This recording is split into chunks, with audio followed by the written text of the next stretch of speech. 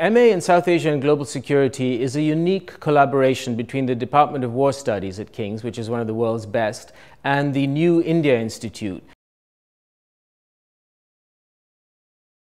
And as such, it combines a very specific focus in regional knowledge about India and the region with very important theoretical perception, perspectives uh, and, and approaches to understanding security issues. The whole idea of this degree is to ground students in the idea and the imagination of South Asia to introduce them to key security, diplomatic, historical issues, but to also provide them with the opportunity to investigate courses on journalism, on economics, on finance, on the growth of China, for instance, on insurgencies, non-proliferation, terrorism, and across the board. It mixes a study of the international relations between the countries of the region, security issues, also within a wider global context,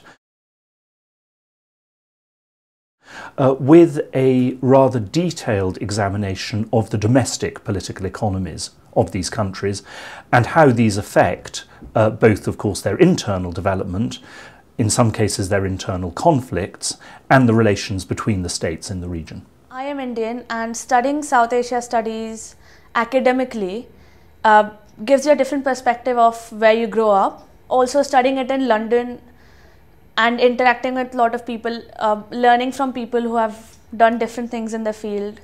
I think I just got a lot of good analytical, unbiased perspective. All of our faculty are also very much engaged in the practical world. This means that we're able to draw in many experts who are actually out in the field, who are practicing, who are involved either in military or security or corporate uh, communities, who come in to meet our students, to talk with our students, to interact with them. Key part of our pedagogical approach in advance is to expose students to the real world, to expose them to the debates that are pertinent to policymakers today, debates that are pertinent to noted diplomatic historians. And we're fortunate to have many of these diplomatic historians and practitioner turned scholars who are a core part and the core team delivering this instruction in the classroom. As an optional model, like additionally, I took Hindi classes and we are a very small class, only four students for Hindi too, and um, we already started talking a lot and it's progressing really fast, so it's really good to combine Hindi and uh, the topics. The module is a mixture of lectures and seminars, and the seminars are really intended to draw out the students.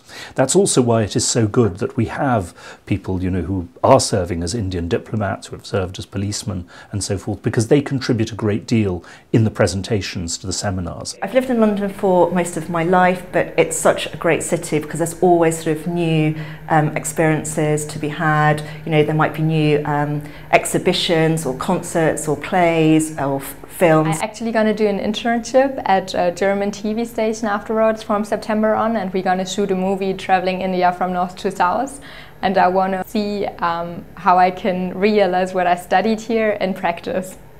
But essentially what we're looking at is students who are willing to engage the class, who are willing to engage, interact, to have the ability to develop ideas in a hugely challenging environment. I think if you're someone who's um, thirsty for knowledge and who loves learning and who enjoys new experiences and wants to be challenged, then I think War Studies Department here at King's is a good place to be.